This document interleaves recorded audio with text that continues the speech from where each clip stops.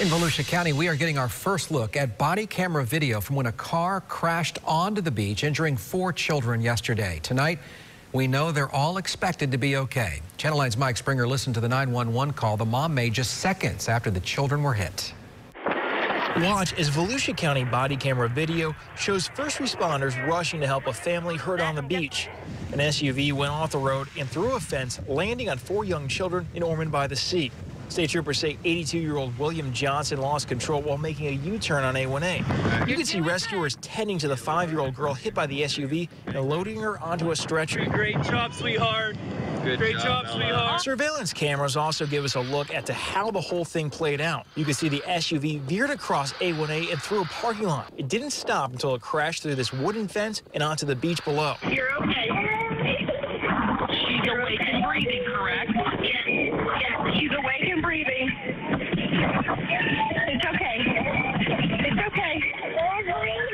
Her three siblings were hurt but expected to be okay. Think of it like a roller coaster. Those kids were released, and the five-year-old is expected to be okay too.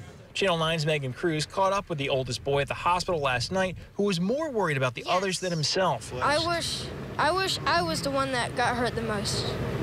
Why do you say that?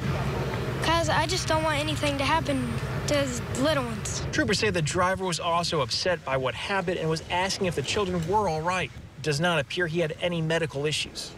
Mike Springer, Channel 9 Eyewitness News. How about Wyatt and what he said about his little uh, brothers and sisters? Troopers ticketed that driver, by the way, for that crash. They also recommended that his license be re-examined.